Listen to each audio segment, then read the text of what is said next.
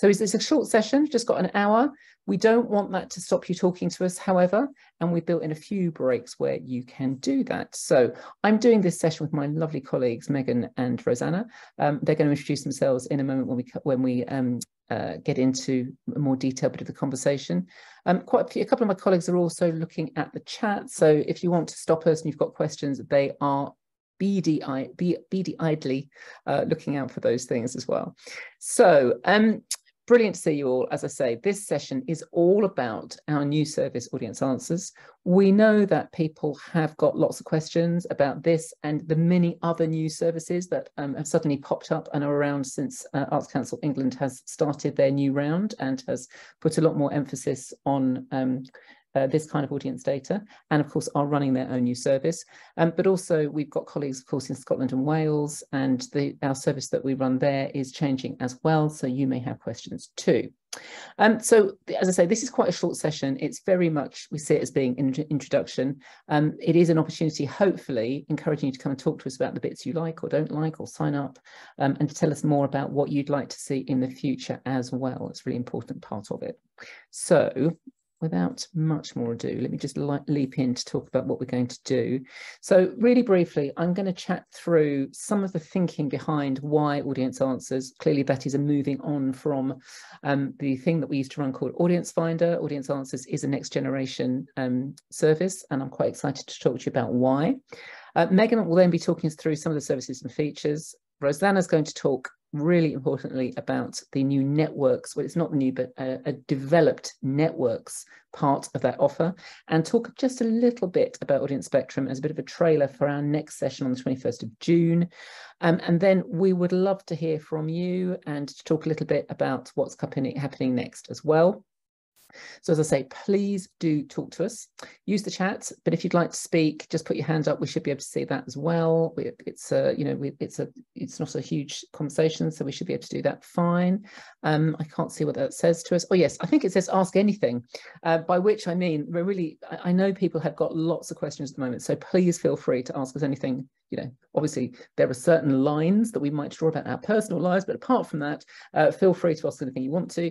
And as I say, we see uh, at the moment we're ears out, we're talking to you and you're talking to us in lots of different ways, but do please see this as being an introduction rather than a single moment where you can talk to us. Keep on doing that.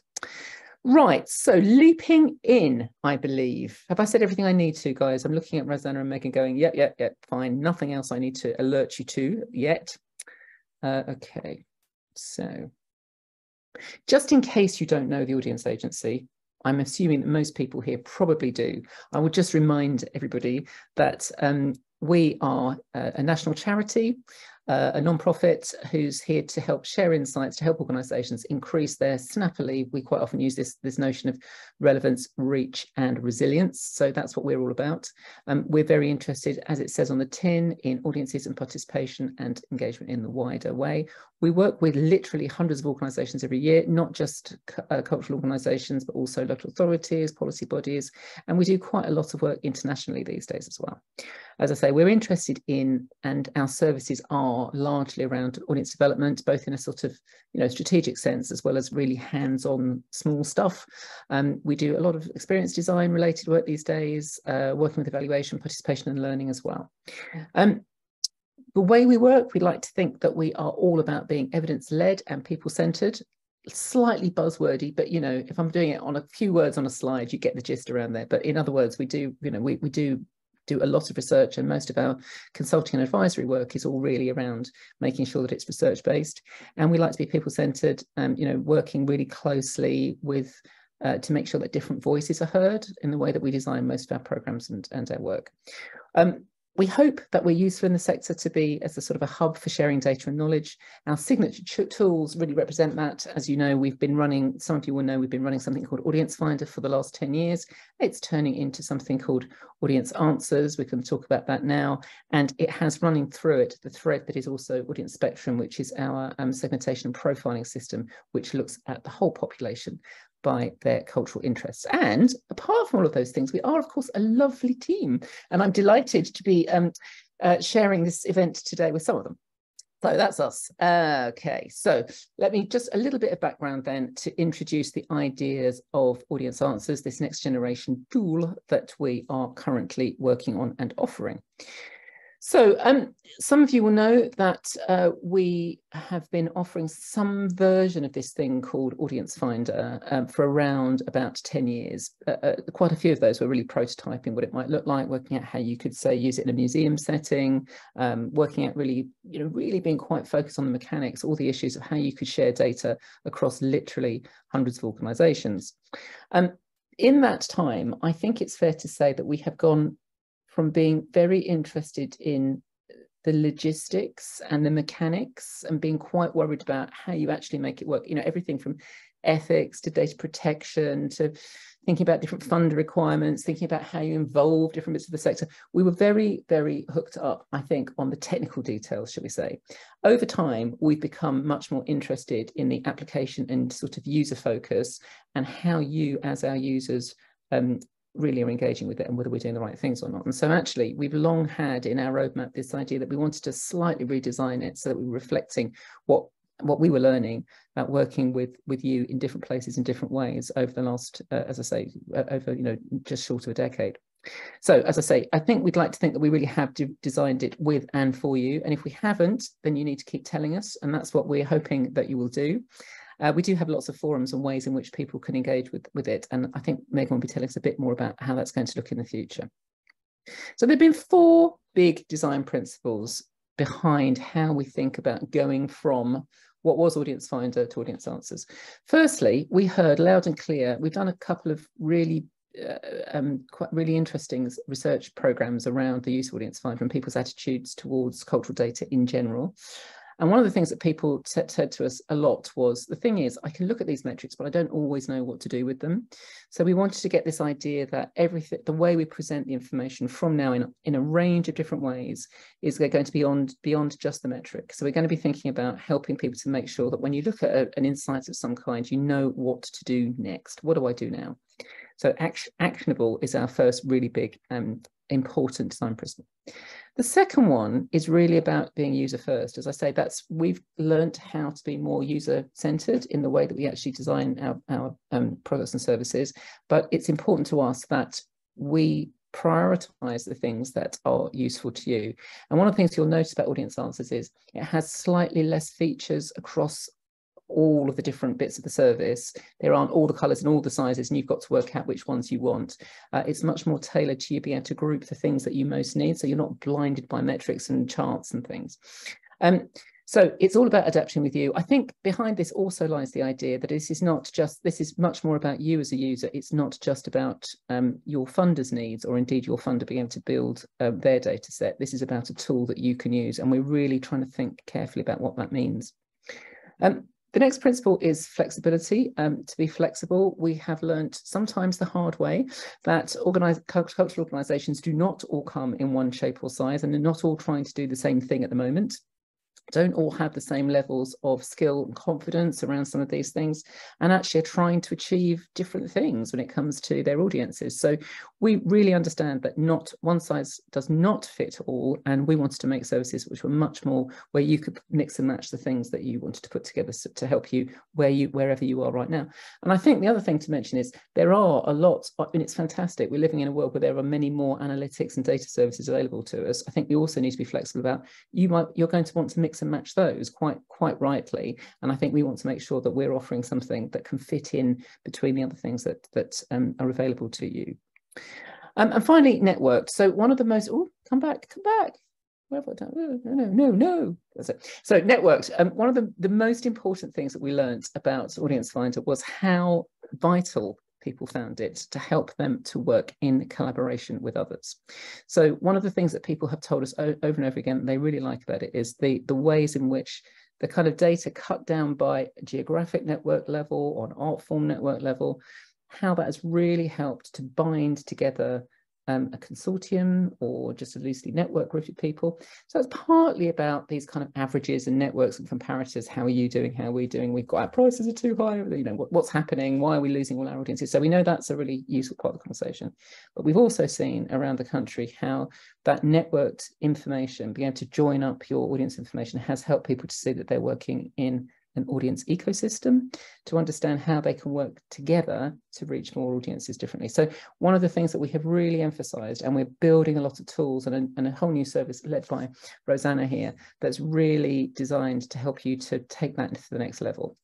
So that was the fourth principle networked. Actionable, user first, flexible, networked. And if we're not doing these things, you can come back and say, I think being actionable would include X or Y, and we would like to hear that. So I'm just going to end now before I hand on to Megan to talk about features by just talking a little bit about how then we've designed the packages and how they work at a sort of top level. So thinking about all of those things, we thought about offering a subscription service with a, with some flexible add-ons, but so a subscription service that has four, three main levels so that you can find the level that's for you. Um, this notion, the first level, the first plan level is really, they're, they're all based on the idea of there being um, uh, an annual subscription, but I think you can opt in and out of them if you you can get out of it earlier than a, than a year if you want to. The snapshot level is really designed for perhaps either for light users, but not necessarily because you're small and have far too many other things to do, but it might also be that you're losing, using lots of other tools. So the free service, there's a free service there. It's quick and easy. It's just about the basics. It's probably about doing the things that we can really help people with that we think we can do more than better than others can. There's something around essentials. So this is a package which, depending on which bits you choose to put into it, is between 1,200 and 2,600 pounds a year. The idea of that is it's quite self-service. Um, it's all about having those actionable insights within a dashboard and some extras in terms of people to help in particular. One of the things that people really said they liked and was to have somebody available to talk to them about what they were doing, to be able to talk to their peers about what it was about and so on. And so that's that's built into that. Whereas the in-depth version, which is um, the sort of the top end, if you like, is really um, a much more sort of uh, um, uh, bespoke version of it. So it's the core service with the features that you really want, some extras um, around that, plus um, more active support from some of our expert team um, you know, in terms of being able to talk through what some of these things mean and so on. So that's the idea. Uh, so that that idea of kind of creating a something flexible that can work for you at any given time, and then within that there are these different tools. Yes, there is kind of standardized surveying as you might expect. Uh, one of the kind of great features of that of course is that if you've been doing this for a long time, that'll give you that longevity to look at the trends across your audience over time. There is ticketing analysis. We've got a whole new service called Coach, which I'm going to let Megan talk, talk about because she is our head coach. And I'm going to let Rosanna talk about networks. So you can imagine that within each of those areas, under the snapshots, you get certain features within the survey, you get certain features within essentials, and you can mix and match these things. So I'm not going to go into the details of those things. They are online at the moment, and we're adding new information all the time. But I suppose just the last thing to say is actionable insight. That's the, the important principle across all of those things um, people you can talk to at all levels, and this notion of interactive dashboards, things that you really want in the dashboards that you can play and get the things you need.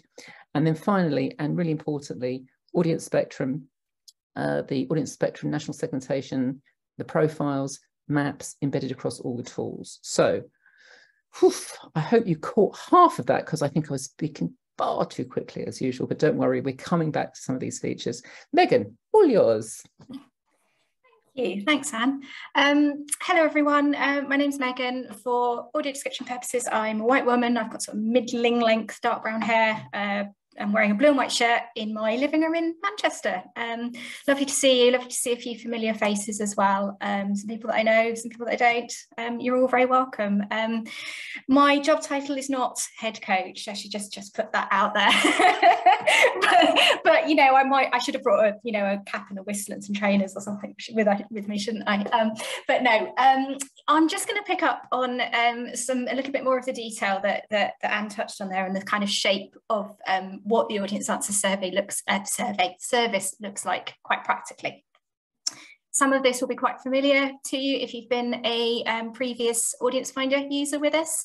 There are some changes, um, but we've kind of kept a lot of the principles the same. So hopefully it's not all new.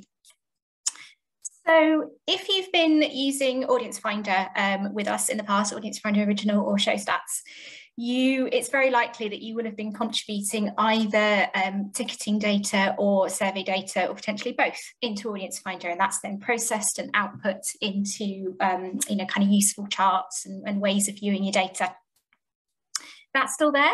Um, ticketing is uh, very much still an integral part of the new Audience Answers dashboard, which is live now, um, launched in April. It's If you've got a login for um, the old Audience Finder Original, that will work for Audience Answers. And uh, a lot of ticketing data is already in there. Um, we've got automated feeds set up with um, Spektrix, Ticketsolve and Tessitura. So if you're, if you're with those organisations, you'll see all of your ticketing metrics there. And the kind of principles behind it are um, kind of picking up on those, those design principles that, that Anne spoke about there, is that it's allowing you to benchmark. Um, and one thing that is in there now, which is it's, it's, a, it's a newbie feature uh, that we didn't have in original, is the ability to benchmark against organisations of a similar size. Previously, the benchmarking was just regional based. Um, but of course, if you're a tiny performing arts centre, you perhaps don't want to compare yourself to the giant art gallery down the road. So now we're looking at kind of um, more kind of meaningful um, benchmarks in there. You can map your catchment area. Um, there's also a, a, quite nifty little feature there that maps your catchment area now versus the pre-pandemic days. Uh, which is which might be interesting to some. Um, we've certainly had some conversations with people who feel like their audiences are really different now to how they were um, uh, in the in the before times. But there's a mapping feature there that lets you have a look at that. Uh, there are lots of metrics in there to allow you to kind of look at your sales, to look at your bookers, to look at your ticket yield, your income, and to compare with previous periods. You know, this six month period versus the last six month period is all still there. We're bringing in some functionality for touring organisations. If you're a touring organisation out there, hello, lovely to have you in the room. Get in touch with us. Um, you've probably been using ShowStats in the past. Um, we are bringing in some, some options for you as well. So you're very much not left out of this. Um, there will be something available there for you. Um, yes, as, as, noted there, we've got those kind of automated feeds set up with Spektrix, Ticketsolve and Tessitura. Other systems are coming soon, you know, uh, watch this space. Um, and, you know, get in touch if you'd like to be set up. Um, we certainly will do our best to bring everyone on board as we can and new features are um, always going to be being added constantly. Um, and the, the thing about the new features is that they're very much kind of led by led by what's a priority for for you and for organisations who are using this. So this is really an opportunity to let us know what you'd like, what would be useful in there um, as well. It's uh, we're really keen to be kind of quite responsive to what people are telling us. So if you've got thoughts about what there's now, what's there now, brilliant. Let us know. If you're like, oh, would it be really handy if I could do X? Let us know as well and because you know all helps us to kind of prioritize what comes in next. So that's a quick fly through ticketing. The other side of the how data comes in um, uh, um, aspect is surveys. Again, if you've worked with us before or you've been um, required to by your national funder, you will be very familiar with, um, with our surveys. Um, Surveys are, uh, again, up and running. There's an offer there ready for you to um, sign up to. They launched in April, as it says there. Um, we've already got 45 organisations on board with the, the new batch of 2023 onwards surveys. Um, just to point out, these are completely compatible with your um, funder requirements. So if you are needing to report to Arts Council England, for example, through the new Illuminate platform, if you set up a survey with us, we will automatically include all of those questions that Arts Council England need you to collect. And then you can pull that data out of audience answers, pass that on to Illuminate um, whenever's needed. Likewise, we've also got um, compatible offers for those organisations that are funded by um, Creative Scotland or Arts Council Wales, and there's a Welsh language version as available there as well. There's kind of three three tiers to the survey offer. So it is a new new model for how we do surveys and how we how we price surveys. Uh, hopefully a little bit simplified from what we've had in the past and hopefully going to um, work for you. But again, tell us if it's not and we'll, you know, we can adapt services as we go. Essentially, there's a basic level survey that is free for everybody. And if you want to get a bit more bespoke, adding questions or adding bespoke questions, there will be some, some costs attached to that, but obviously we'll try and keep it as reasonable as possible. Um, just say as well, you've the eagle-eyed amongst you, or just those with very good eyesight might have spotted that the uh, screen grab there we've got um, is actually um, uh, in German. Um, and that's because we are actually working with some international partners. Um, so we do have some, some international data coming in as well. We will have a survey report that looks very like that, but will be in English, I promise, if you're not fluent in German. I'm not. Um, so yeah, lots of options with surveys, all the flexibility of all those um, uh, different optional questions is all still there. We've got an enormous question library that you can pick from and add to your surveys from as well. And then there will be reporting functionalities for those surveys in the audience answers dashboard in the same way that you've had in your, your um, former audience finder dashboard. Great. Uh, so, coach, yes, which apparently me, apparently me. we were we were talking earlier about whether that graphic's actually meant to be me or not. I'm I'm not sure.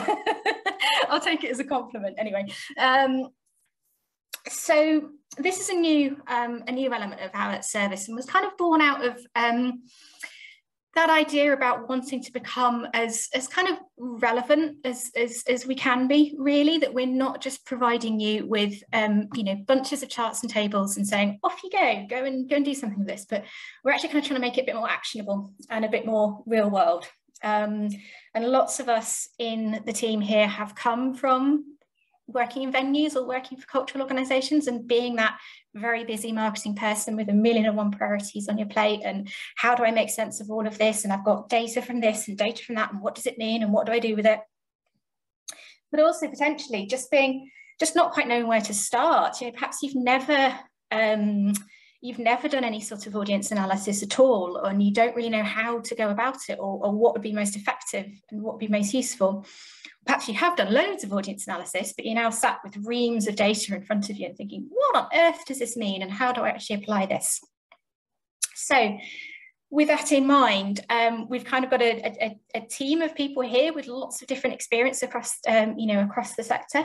Um, come, come to us, come and have a chat with us. We're a friendly face. We've been there before. We've been in your shoes. We get what it's like. Um, and we can hopefully help shape that kind of thinking a little bit for you and just be a kind of you know a, a, person to bounce ideas off and thoughts off of really and it doesn't matter how much experience you've got i mean literally no no question is too small you know if you're just starting out and you're thinking gosh what is all of this that's absolutely fine that's exactly who we're here for um, so it's about maybe potentially coming and talking to us about practical tactics you know how can i put this stuff into practice in my day-to-day work Perhaps it's getting to grips with um, Audience Spectrum, our segmentation tool. You know, um, okay, what do these what do these names of segments mean, and how do I actually practically go out and engage with these people? What are the things that that might help me engage with them, and and you know, where would I find them, and how do I talk to them?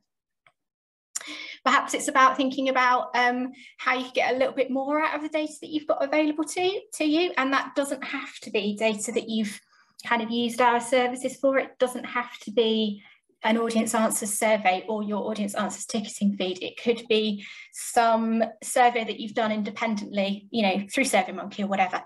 It could be some information that you've got from a local authority or the Office of National Statistics, you know, bring us your data and let's have a look at it together and let's have a chat through what might be going on there and what that could, could mean for you. Um, you might want to talk about how that data could support your um, funding applications. You know, do you need to evidence your impacts? You know, sadly in this day and age, we, we so need to be on that, you know, improving our impact. You know, um, it's, it's so important to be able to kind of evidence what we're doing and prove to the powers that be, whoever they are, that we're, we're, we're worth investing and we're worth supporting as a sector. So if we can if we can help with that and we can help make sure that you're gathering the right data to be able to evidence that and to be able to have those conversations with funders, donors, even internally, even your own senior management team or your board, then, then absolutely that's something we can help with. And then finally on there, looking for those opportunities for audience development. Um, you know, you've got, got a ton of data perhaps, but but where is the um, uh, where's the potential? You know, we've all got you know, limited resources in terms of time, money, um, and where can we best prioritize that resource in your individual context? Because obviously we'd love everyone to be coming to all of our stuff all the time, but that's not practical. You know, where can we really, really target and, and be effective? So that's the, that's that's the kind of gist behind the service there. What it looks like practically is an hour to an hour and a half um, uh, online call uh, with me or one of my colleagues, um, just have a chat. We'd obviously have a bit of prep time beforehand just to discuss what, what you need. We'd have a look at look at any any data we needed to in advance or anything you wanted to send us to look through, and then we'd spend that hour, hour and a half at time that suits you, just kind of talking through and hopefully, you know, getting some good solid actions to come out of it. So that's live now. There's a booking form online. Um, it will come to me. So now you know my face. That's that's me. That, that form will come to. Um, and yeah, look. Hopefully that will be something that's that's useful. Um, oh, sorry, I'm just conscious of the time, so I'm going to rattle through the next couple of slides quite quickly. Um, and Rosanna is going to speak in a bit more detail about audience spectrum as well. But just to say, um, audience spectrum, again, if you're familiar with our services from you know, previous years, um, Audience Spectrum is our segmentation tool. It's all about um, assign, you know, using using the data that we have about um, about the entire UK population to segment by attitudes to arts and culture, lifestyle, how people behave, and that then to help you engage with them. It's not going anywhere. It's very much still here. It's very much still going to be a central part of everything we're doing. Uh, you'll see your, um, if you've got a ticketing feed set up with us, you'll see your ticketing data um, split out by audience spectrum type already. Um, same will be true of uh, surveys as well when you've got your kind of survey responses back in.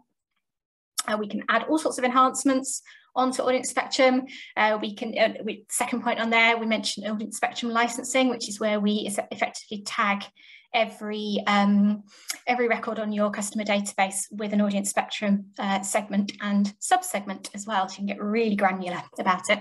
And then you can do your own um, kind of quite sophisticated uh, you know kind of tailoring of mailing lists to, to go really at, at one particular segment. Or your own analysis in your database it opens up a lot of opportunities there. Talk to us if that's something you're interested in. Uh, we can do workshops with you, again, in person or online, really exploring those segments, uh, looking at objectives, looking at uh, creating some personal personas to help you really get under the skin of, of who these who these segments are and what might work for them and what might be most effective for them. Um, and just a, a, final point on there, um, we are looking at um, doing some, some automation around those um, audience spectrum licenses so that it, hopefully the hope in time is that they will be almost live updates of your of your system. Um, we're nearly there, we're nearly there. Keep, keep, keep an eye on things as we go very finally, oh, I've run over, I have run over by a minute already. Um, our evidence and insight section, um, this is really worth going and having a look at. It's a section of the now live audience answers dashboard. You don't need a login for it. Um, if you're not set up as a user yet, you still have access to this, you can still get to this and it's kind of a my uh, my colleague Ollie did a, um, a, presentation last week, which some of you may have been at, kind of introducing this in more detail. Um, it's on YouTube if anyone wants to, anyone wants to have a look. But essentially, it's kind of the home for all the big picture research we're doing um, uh, where you can get uh, kind of the latest stuff from out, for example, from the Cultural Participation Monitor, which is our long-term study into how behaviour is changing and where people's priorities are lying as things like the cost of living crisis develop or, um, you know, as we recover from the pandemic. There's also stuff in there around national sales trends in a national sales tracker dashboard. Uh, and there's there's loads of stuff looking at the kind of national big picture by art form and by region as well, as well as a really snazzy, really snazzy, is my word of the day, um, audience spectrum map. I am a total map nerd, so I was so excited when I saw this and lost several hours one afternoon to, to mucking about with a map. But you can have a lot of fun looking at the audience spectrum segmentation across the whole country and zooming in and zooming out and seeing what's going on there. Um, would thoroughly recommend going and having a, a little look through that. It's a really, really valuable resource. Finally, finally, very quick um, again, Rosanna's going to pick up on this much, much more, but networks are like the, the another strand of the whole audience answers um, offer, a very, very important strand, um, speaks back to those design principles about um, working together in collaboration. It's about creating groups of other organisations that are similar size, similar interests, similar backgrounds, and working together to share data and collaborate. And I'm not going to talk any more about those because Rosanna is the expert in the room and I'm going to let her pick up from there, if that's okay. And I'll stop sharing now. I'm Rosanna, um, and I am going to be talking to you all about the sort of networks offer just for audio description purposes. I'm a white woman in my 30s, covered in freckles, wearing a green top. Um, and yeah, we'll, we'll kick off with that. It's lovely to, to see so many uh, familiar uh, names in the chat coming up. And I just wanted to say, say a special hello to Paper Birds. Um, I have a, sort of a soft spot for them as an early career baby programmer. Um, your work had a big impact.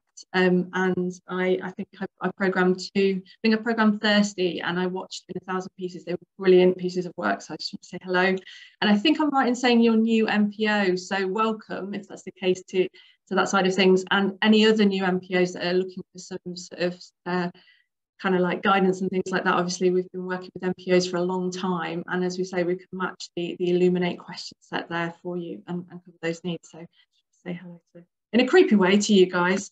Um, welcome everybody else as well. But networks, so I won't go too fast, but I will skip through. Um, but if there's anything else that, that you need in terms of info, we have stuff on the website in the dashboard and there's information as well. And if you're interested at all, just having a one-to-one -one chat about networks, then please do get in contact and, and we can talk more specifically about your needs. So this is just very brief. But in a nutshell, um, we have been doing networks at the Audience Agency for a long time. It's not a new concept at all, as Anne said in the intro. We've been doing, we've been working with clusters, groups, and um, consortiums um, at the Audience Agency, whether they're consortiums and groups we've we've designed or pre-existing. We and we've come along and, and supported with the data um, and connected the uh, conversations. Um, but what we're doing now is kind of formalising it into a, an offer that is something that we've got an open call out um, for organisations to get involved with, either open networks we have that exist that you want to join, or if you're interested in forming a brand new network, um, we're now in a position um, to be talking much more about that um, with Audience Answers having launched as well. So fundamentally, we've got connecting with like-minded arts sector professionals at the heart of it, combining efforts to engage audiences, comparing your data and your ideas, and cultivating new approaches. And I should say that networks will meet you where you're at um, at TAA. So um, we'd love you to be using our, our systems and collecting data through us. But in fact, if you're not, you can still actually um, work with us in a network and we welcome you with open arms, whoever you're using to collect your, your data, however you're collecting it. We want to see you achieve more as part of a network with us. Um, so what does that look like um, and how could a network support your ambitions?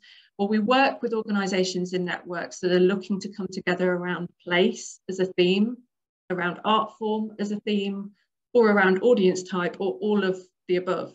So some of our networks are place and art form, so a, a geolocation um, specific um, network that's looking um, at everything to do with an area, also everything to do in an art form um, and crossing those over, or it can be completely separate, um, or of course audience type when we're thinking about um, networks that are looking at family audiences or particular types of audiences that they're trying to reach and they're coming together on that topic. So there's a range of ambitions that we can help you um, uh, support you to get your, um, your outcomes on. How does it make a difference? I wanted to include here that um, we've got had some very positive feedback from existing network members, and this is some of the stuff that they've said recently to me um, that the networks have helped them with. So uh, the group accountability really helped me keep track of goals and deadlines, um, and that was a really good factor um, uh, and helped them sort of in terms of motivation through the project. Um, I was able to show senior management the data which in the wider context of the group helped us explain our metrics and supported our funding applications. It's definitely been used in, in either collaborative or single funding applications. And then um, this just, I think, is, is quite a nice one that I just really appreciated having a group of people to chat to about this stuff. Um, sometimes I can feel a bit lost. And that was just a really honest bit of feedback about actually sometimes uh, sat on your own with a with an issue with data, using data or or just something in terms of audience development, it's really good to share. And um, so yeah, fundamentally our networks really help with that too. This is the call to action. we want you to see that this is a possibility um, and that you you would be maybe interested in joining a network or just finding out more. So to find out more, the email address at the top there, networks at theaudienceagency.org. Um, you may be part of an existing network and you would like um, the audience agency to help you um, and support and we've done that work as well in the past. Um, so there might be a, a membership group that you're part of consortium or something else and be interested in us coming along and, and um, complementing your work there. Or if you've got a great idea for forming a new TAA network and you might have an idea of who those members could be or you might want our help in identifying new members for a new network I would be interested in hearing from from and on any of those um, sides of it. So please do get in touch. So I'll quickly now go through audience answers and audience spectrum.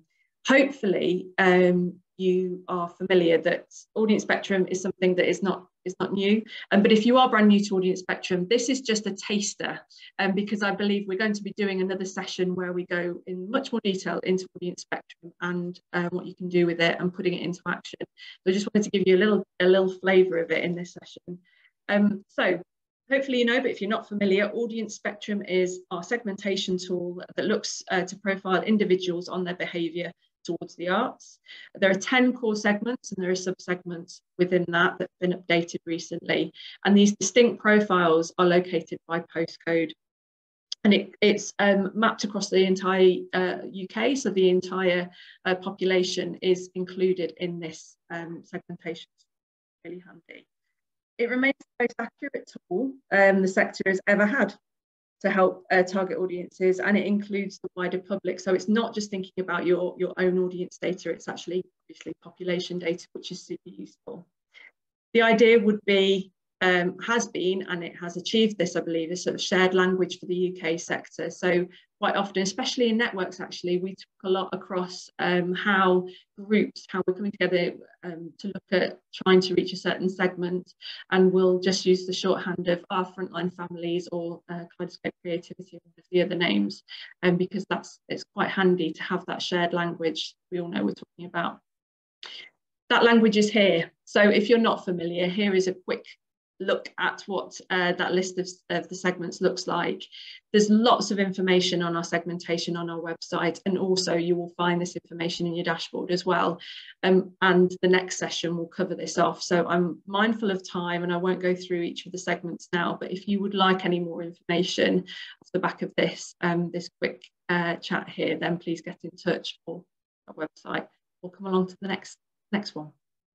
Um, but yeah, just a quick reminder of what makes it unique, special and important. Um, it's new and improved. So we've got approximately 2,000 users, sorry, um, plus, and it's the only geolocation segmentation for culture in the UK. So it's really important that that um, that that is uh, the factor at the heart of, of the segmentation tool for us. It's based on real data and it's profiling whole population as mentioned, and it is relevant to all cultural organisations. We know we've tested it um, thoroughly and we know that uh, organisations of all shapes and sizes get a lot of use out of it. It describes your community, so not just your audiences that you know through your door, but actually who you could be serving as well, which is great and it's got includes profiling cultural relevant behaviours, preferences, lifestyles, and attitudes. And we believe it's truly actionable, and we've got proof of that. Um, so, audience development, community engagement, programming, marketing, user journeys, fundraising, partnerships. We know that you can take what our segmentation tool offers and, and turn it into action, and that's really critical. So to get even more personal, we have mentioned this already, and there was a good question about this, but we offer, um, so not only in dashboard and in reporting that you can get from us, in coaching you can get from us, and, and networks you can get from us, you can use the, the segmentation tool, but actually we give it back to you to use in your own tools through um, licensing. So you can um, buy a license, an annual subscription from us, and make it actionable inside your own box office system which is amazing. Um, again, we've got more info on the website, so please do take a look. But um, Chris popped up um, to answer the question on that um, and is available if you if you need to ask any more. on that. Really quickly, because we're going to go into this in much more detail in the in the follow-up that I keep mentioning, the, the second session, I think it's happening in June. Um, we'll be we'll be going into this, but I wanted to share this at this point because it's a really good example of that action and, and how you can take the audience um, spectrum and make it work for you and your organisation. This is a brilliant Rochdale Borough Council and the Feel Good Festival. It was part of the Without Walls um, we work with the Without Walls Consortium, the Outdoor Arts um, Partnership Group, a great bunch of venues, organisations and festivals that come together um, and look at their data together with us. And um, this was shared as part of our, um, our case study in action um, sort of session that we ran with them. So Rochdale, they used audience, it was Audience Finder at the time, now it would be Audience Answers, of course, with their website analytics, with their comparator analysis. They did some gaps research and focus groups. So, so yes, Audience Finder, as it was then, was a, was a big component, but there were other factors. And they um, started to profile some, um, some individuals off the back of that for their um, audience engagement work. So here we can see that they, they looked at hashtags, they looked at what they'd be interested in, they looked at websites, they profiled um, using, um, using data, and they came up with um, Hannah. So they did some uh, profiling and they came up with a, an individual called Hannah that was a certain age. You can see there the interests and um, what they actually did then was take extended that out and, and placed Hannah on the spectrum of where she would be between trips and treats and, and it was Facebook families then, it's now frontline families. And they mapped out a typical day for Hannah and that left left them with lots of um, things to explore in terms of adapting their website copy, their marketing materials, doing an audience development plan that let them kind of um, really flesh out who Hannah was and how they could speak to her uh, and work with her. This kind of persona workshopping we know is really, really crucial. So what we're going to do is in the next session, we're going to sort of demo that a little bit more and sort of really expand out on how you can use our segmentation tool and put it into action. We wanted to just, just trial it there and give you a flavour of it. But that's everything from me on networks and audience um, spectrum. So just a quick timeline. So most of the things we've been talking about now, we've been talking about just now, are um, already available. So the services are all up and running. You can um, you can uh, design your survey, start collecting survey data. Uh, you can plug into the ticketing system, and you can join a network. Um, as we've said, all of those things are compatible with those three funders and can be used for local authority reporting. Talks if you'd like to know how. Um, we've talked about the fact that the we've just moved all our new evidence stuff with all the latest trends into the um, audience answers um, uh, platform. So quite excitingly, there's there's lots of things to go and look at there, including um, a new population change report that looks at the differences between what's happening out there in the public between 2011 and 2021, the mo most recent census. Um, and there's also something we haven't talked about today, this new report for touring companies, very important. Um, coming online any minute now. So um, I mentioned the fact that the, the full survey report, be able to see all your um, all your uh, answers um, neatly displayed live um, is coming on in the next few weeks. Um, you'll also be able to add in those bespoke questions to the survey. That's also coming on as part of the service. Um, there will be some new ticketing integrations because if you're not with Spektrix or TicketSolve or uh, Tessitura, um, you that some of those new systems are going to be available, I think, by the end of the July, we're hoping. And the automated audience spectrum integration with your CRM or box offices we've just been discussing, that will be available. Uh, another feature of that, of course, once they've got that in, that means you're going to be able to profile your um, future audiences as well. You can see who has so far booked for what. And I think that's going to be an amazing thing to be able to look at and think, oh goodness, we need to push this harder at certain um, uh, spectrum groups and so on. Um, the new ticketing features for the essential the essentials and premium ticketing um, offers at the moment, that's just the free snapshot offer. Uh, do go and have a look at that if you're in one of those ticketing companies. But the new uh, essentials and um, uh, premium services around ticketing and the new insights for that are going to be launched in the autumn. So keep an eye out. And if you're not already on our newsletter list, please join it because we can tell you as those things are coming out. And as I said, because we're just working out exactly what functionality we're going to put in that first wave at the moment, we've got mo most things, but there's still a little bit of room for maneuver. And we're really keen um, to hear from you if there's anything you particularly like to see there. Okay. Thank you all so much for joining us.